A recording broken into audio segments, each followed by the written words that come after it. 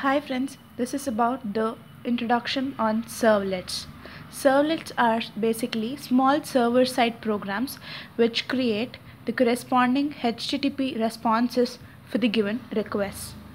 You'll understand the concepts on servlets better by understanding a simple program which all of them would start learning whenever they start learning the coding that is printing hello world. So now I write a servlet program that prints the hello world uh, using which you will understand what are the basic concepts that lie in this servlets first of all we have to import the package okay?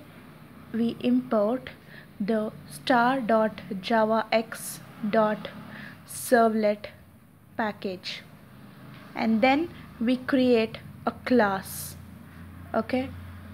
The class name is say hello servlet is the class name. Okay? Which always will extend the generic servlet class. By default these servlets will extend the generic servlet class. And then we have three methods which is present in this servlets. They are the init service and the destroy. By default the init and the destroy methods would be given. We only have to uh, override the service method. So we take down the service method and we pass two parameters inside it. One of them is the servlet request and we create an object of this. And another one is the servlet response. And we create an object of that response also. And now we have a print writer class in the servlets which is used to print the text by creating an object of it it is a part of the servlet response class. Hence this object we consider and we get the getWriter method. It is present in the servlet response class. And the response class we set the content type as text slash HTML. There are two types. You have text slash HTML or text slash plain.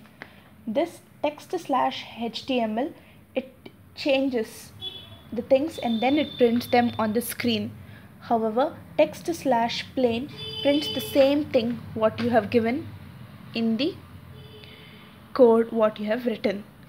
Now this pw is considered and we have a println method println and we print in bold hello world.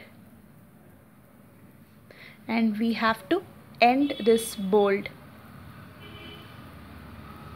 And now we can close the print writer connection what we have created and close the method here is a simple program which is used to print the hello world using the servlet concepts. Please do subscribe to my channel for more videos on servlets. Thank you.